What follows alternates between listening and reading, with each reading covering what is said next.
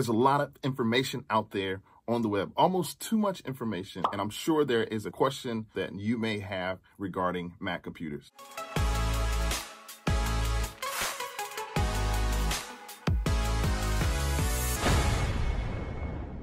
So what I did recently is I put out a poll of a survey to answer some questions to my subscribers to ask me anything relating to Mac computers, whether it be general information, accessories. And in this video today, I'm going to attempt to answer each of those questions. Some of the answers may be my opinion, some are actual fact. Hello, my name is Brett. Today we're answering questions about MacBook computers. So I ask that you hit that like button and subscribe to this channel. Today you're going to get some resourceful information on Mac computers. If you have any other general questions about Mac computers, please leave them on the discussion page here on YouTube. I started using Macs about mm, 15 years ago. It was, seems like a long time ago, but I was looking for a solid computer. I didn't need it for Word. I didn't need it for Excel or Microsoft Office. Windows got all of that. When I first started out, I started out with a lot of different sound files, a lot of media that I had to organize and I was using for production. I had to live with the inexperience of purchasing something that later on down the line, I realized wasn't the right product for me. Not necessarily because of Apple's products itself, but it was because of my inexperience. So now I wanna share all or some of this information with you today. If there's any information that you've received today that's been a help to you, I ask that you, in support of this channel, hit the like button and subscribe to this channel so that you'll receive updated videos as I post them. First question. First question, I, feel like I'm really old school with this um, sheet of paper. But first question is from Lamont Henderson. Lamont says, why do iMacs have different ports than other computers? It's always a nightmare for me to get the right cords, especially if I have to spend extra money on converters. The current ports of the Mac are the USB-A and the USB-C. I'm not really sure how I want to tackle this question because Apple's ports are unique to Apple. That's the reason why they have their ports the way they are. Apple ports are what make them unique to Apple. I understand the headache in having to go out and purchase different adapters. Well, let me do this. Let me get my computer so you can I can show you. I don't want to assume that everybody knows what a port is. So I have my MacBook. This is a MacBook M1. If you look at it, it has two ports here. One is for the power cord and the other is um, the USB. Some examples of some common ports are the USB drive, the ethernet cable, hookup, Thunderbolt, as well as your power cord. This question today is actually a common complaint of Apple owners, those who own Mac computers or iMac computers. Apple is getting rid of their ports. Everyone is starting to complain about how Apple is phasing out their ports ports are becoming less and less. Apple used to provide you or your computer with three or four different USB ports.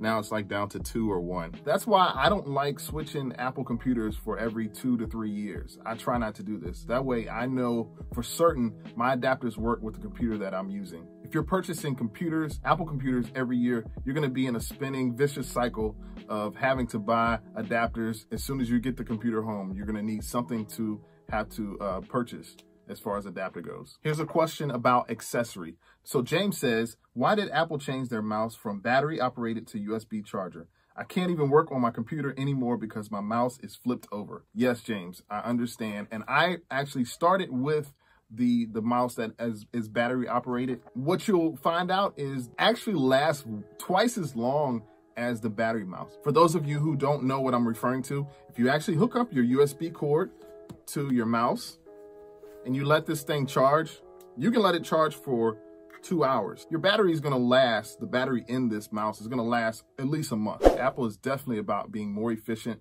with their products and accessories. When I first switched over from the battery to the USB, I didn't like it as well. I was used to the batteries for whatever reason. But now that I have the USB powered mouse, I don't even have to think about charging it up. It'll give me the low battery signal. Your Apple computer will warn you when your battery is low so you can charge it. I would personally charge it overnight.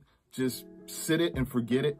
The next morning, you'll be good to go. These are all really good questions. We're going to the next question from Daniel. Daniel asks, what software do you use to edit your videos? So I mainly use Final Cut. I also use iMovie, which is the standard, all Macs have it. What I'll do is while I'm editing my videos, I'll use each program. Each program has its strengths and weaknesses. So some editing I'll use with Adobe Premiere, some other editing I'll use in Final Cut. It just depends on you know, how I'm feeling, my creativity. Yes, I still use iMovie, believe it or not, in 2021. The program gets the job done. I, of course, have Final Cut and Adobe Premiere to kind of bounce off some ideas or give me some more options as far as my editing of my video.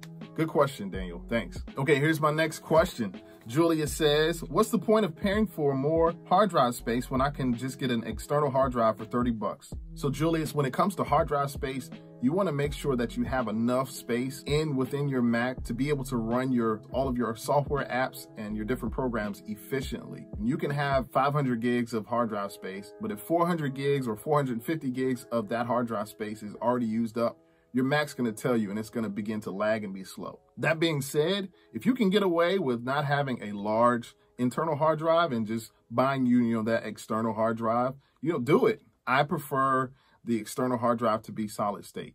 So when you're interchanging programs or moving throughout the software or trying to upload or download programs or save different files, get your SSD, which is the solid state drive.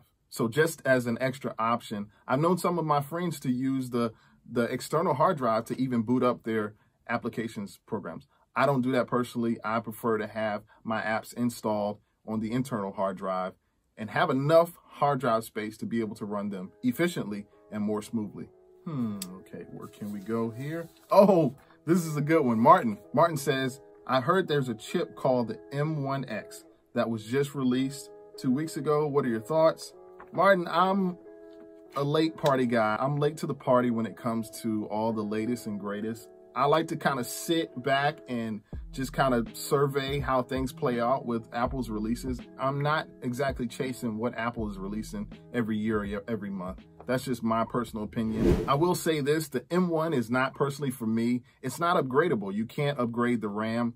You can't upgrade the operating system. You can't upgrade any hardware. So what's the point for me? And and I suppose if the M1X, I hadn't researched it, I still prefer the Intel Apple computers over the Silicon Apple computers. Because Intel, you can still upgrade your RAM. I believe you can get like a 27 inch computer iMac and then still be able to upgrade your, your hardware. We'll talk about this later, but my overall opinion is until they allow the M1 chip for you to be able to upgrade your RAM past the 16 gigs, I believe it's you can either get 8 or 16 gigs until they allow for you to upgrade to 32. I'm not necessarily going to go out and purchase the M1. Let me correct that statement. I do have an M1 MacBook Air. I did purchase an M1 MacBook Air, but I do not use that for all of the, the editing programs. I, I use my older iMacs for editing my videos as well as my music that I edit. What I was going to share with you later is what Apple did to kind of cut corners with the M1 chip. In my opinion, in order to be competitive with their prices, they only allow that 16 gigs instead of allowing you to upgrade to 32. So here's the question that these questions kind of go hand in hand. The question is, why is the MacBook Air limited to only 16 gigs of RAM? Why not 24 or 32? My answer, yet again, is Apple's cutting corners. They wanted to be competitive in the market to be able to push out those M1 chips. This is my opinion once again. I do not like, hate is such a strong word. I do not like the M1 chips because they're not upgradable. You can't upgrade the RAM. You can't upgrade the computer. You want to know the difference between the M1 chip versus the Intel? It's the price. You know, your Intel computers, if you want a strong Intel computer, you're, you're running anywhere between 23 to $2,400. You see the price difference? Intel is here. M1 chip is a little bit more competitive in price. This question, here's another question. Why there's so many operating systems? Catalina, Big Sur, Mojave, Sierra, list goes on and on. I remember back when Apple started releasing their different operating systems, you would have something to look forward to. There were new features, there were new items, there were new things you could do that were kind of cool that you couldn't do with the older operating system. Now, that's not so much the case. You don't really get that many features, so I tend to stick with the best operating system that fits me. I myself, I'm not necessarily going to upgrade. It's not going to benefit me to upgrade. Actually going to cause more headache for me with this, the software and the programs that I use to try to upgrade. I said previously in a video that I did a couple weeks back, I try to stay within two to three um, operating systems behind what is current because what you you don't really realize is they're really in beta testing with all of your third-party software and all of your third-party apps these third-party apps haven't caught up to apple's latest operating system which is now monterey so my answer is apple spends hundreds of millions of dollars on their security features so they're constantly updating their operating system and that's the reason why they have to update my advice on this is once again once you get in the operating system just stay there you don't necessarily have to upgrade to the latest and greatest operating system. The operating system I'm using now is Catalina. It's like two or three operating systems behind Apple's current operating system. Just wait two to six months to see and make sure all of the tests have been cleared. A lot of these tests, they're in beta testing with operating systems and third-party programs. Wait, wait until those tests are clear. Wait until all the bugs are fixed, and then you can upgrade to the latest operating system. The key to all of this is you have to ride the wave of trying to be too anxious to just jump just because you've heard from so many people are saying, oh, I'm upgrading to Big Sur. I'm upgrading to Monterey. And then they come back or sometimes they don't come back and tell you the consequences of them jumping, upgrading their systems ahead of when they absolutely need to. You can still update your security systems without having to upgrade the entire operating system. So you should be getting updates or a, a, alert from Apple to update your security system. This is overkill. Let me just say to you, I have not upgraded my operating system on both of my computers. They both have Catalina. Yes, it's true. I haven't upgraded those operating systems in about a year. Jessica asked, Apple is being sued for defective M1 MacBooks. There's a video that she referenced. I did watch that video. It's a video by Created Tech. So I wanted to cite my source. So the lawsuit was regarding the MacBook M1, how their screens are defective. People were having issues with their screen cracking. People weren't really dropping their screens or knocking them over the screens were cracking on their own. So before I get into this, this is totally unbiased. I'm only reporting to you what I researched in the news about Apple's lawsuit.